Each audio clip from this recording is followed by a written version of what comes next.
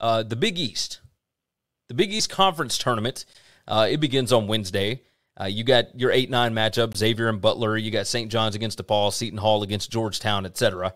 Uh, but your your top seeds here: number one Providence, number two Villanova, yep. number three UConn, and then Creighton and Marquette are the four and five, and they're playing each other on Thursday at two thirty Eastern.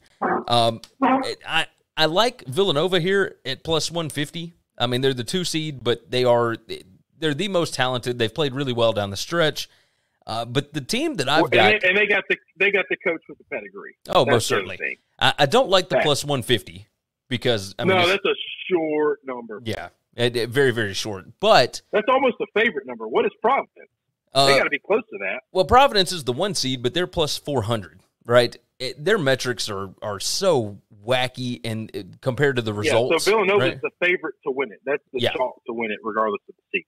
Most certainly. Most certainly. Yeah. Um, UConn is plus 325, Providence plus 400, Marquette is plus 800. And I the one that I like right now is Seton Hall. Uh, they've won five straight. They are playing lights out right now. Um, nobody is talking about them. And I know that they got to play a Wednesday game against Georgetown, but Georgetown has not won a single Big East game. So they'll they'll well, play yeah, against Georgetown's over in the conference. Yeah, it's I don't that hadn't been done in so long. I mean, they were going through all the record books. Like it, this is this is absurd. This is why you hang on. What did I tell you? This is why you don't hire heroes. Yeah, I mean they, they made it. They won. At some point in time, at some point in time, somebody's going to have to have a very hard and uncomfortable conversation with a legend, a god yeah. at Georgetown. Well, and they, they just had to do it with John Thompson III, right? Like it. Yeah, I mean, it's no, just that's absurd. It. Like you just you just fired one god, and and the other god you're you're about to have a really uncomfortable conversation with. Yeah, they're saying that he's going to be back next year, but yep, you know that's right. We'll see. We will see what ends up happening. Uh, but yeah, Seton Hall, you get through Georgetown, then you got to play UConn, then you probably have to play Villanova, etc.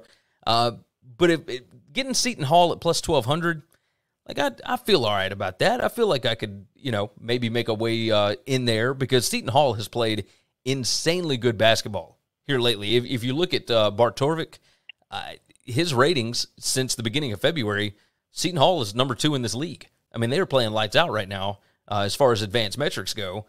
So yeah, it's a tough road, but you know, I don't think it's any more difficult than Villanova having to play either UConn or Seton Hall in the next round.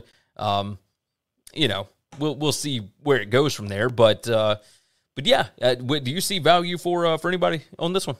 Well, I, I, I, what, what was Marquette's number again? I like Marquette. Marquette is uh, plus eight hundred. They got to beat Creighton and then Providence, and then you'd probably handle Villanova, UConn, or Seton Hall. Yeah. So I, if I if I had to take a long shot, I would like Marquette. Um, I also like UConn. I I actually think UConn is, you know, what are they like three fifty to one? Uh, three twenty-five. Three twenty-five.